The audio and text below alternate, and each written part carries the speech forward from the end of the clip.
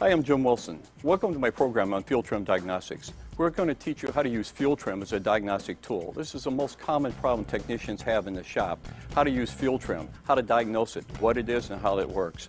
We're going to teach you how to use this to diagnose sensor inputs like the O2 sensor, the mass airflow sensor. In addition, we're going to be able to use fuel trim as a diagnostic tool to know when we need to do a fuel system service. We can do a before and after to see if we've done major changes to the car to restore it back to the original operating condition. Restore that lost gas mileage that customers are complaining right now, or that loss of power that you might run into. Now let's get on with the program.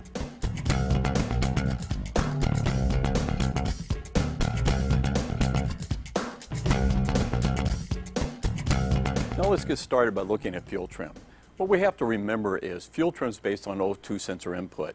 And I ask this a lot of times in class, what should the O2 sensor input be? And they'll tell me it's 450 millivolts. Well, that's great, except that the catalytic converter on a car works at 450 millivolts as the middle, and that's 14.7 to 1. You've, one part of your catalytic converter works at 14.7 to 1 and richer, and that gets rid of the NOx. The other part of your catalytic converter works at 14.7 to 1 and leaner, and that gets rid of your HC and CO. So you have two different beds of your catalytic converter, and they're doing two different jobs. Part of the time you have to go slightly rich, and part of the time you have to go slightly lean. So what you're looking at on your O2 sensor, it's a switching above 800 millivolts and below 200 millivolts and averaging about 450 millivolts. This is for a proper operating system. Now, the other thing we have to look at while we're here is that we have two different fuel trims related on the vehicle. One is short-term fuel trim. Short-term fuel trim is the ability to change the injector pulse width based off of O2 sensor input. Uh, now, short-term is a system that is working constantly. It's going to be constantly changing, reacting to the O2 sensor input. If the O2 sensor stays high, you're going to see your short-term fuel trim try to take away fuel, which will reduce the injector pulse width to try to create a little bit leaner situation. Now, that's the first one we've got, a short-term fuel trim. And when you turn the key off on short-term fuel trim, it goes away. It only works when you get in the closed loop and you're working in it, it reacts directly to your O2 sensor input.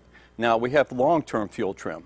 Long-term fuel trim basically is ability of the computer to memorize a lean condition or a rich condition on the vehicle. When it does that, the computer will go in and change the base pulse width. Now, I didn't start talking about base pulse width, but when you turn the key on, the computer and the maps inside the computer set the base pulse width of what this car should be at that particular altitude or that particular temperature. Now, when the car gets in closed loop, what's going to happen is you're going to have a base pulse width that it should be in those conditions.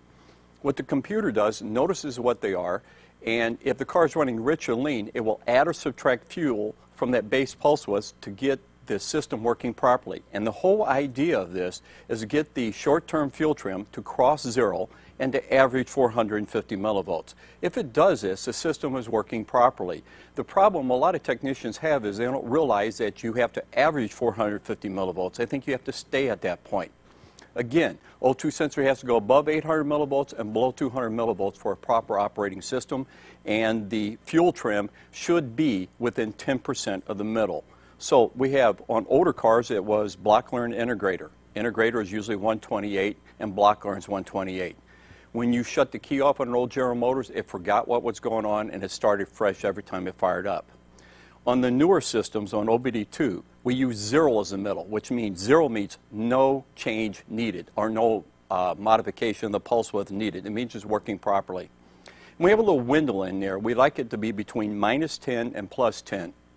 If you do that, the system's working okay and you have a good working system. Now, there's one other thing you need to learn, and that is on some older Chrysler cars, we have a thing called additive pulse width, which means that idle, they added fuel or they took away fuel to correct an idle condition, a lean or rich condition of idle. Volkswagens also do the same thing. They have an additive and a multiple factor. The additive factor will take away fuel at idle. That's going to be your block learn. I think it's 32 that you're going to look at in your block and using that process. Again, additive is going to be for idle, Multiple is going to be for off idle. So that's another thing you're going to be looking at on fuel, fuel trim. Most vehicles we're only going to be looking at long-term and short-term fuel trim. And you remember, you got two banks. Both banks should be pretty close to each other for the car to be running properly.